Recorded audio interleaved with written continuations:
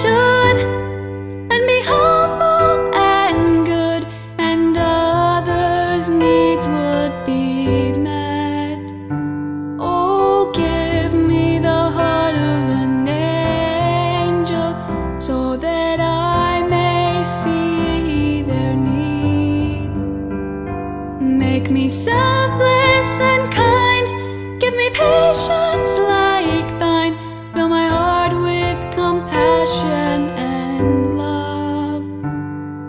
Okay.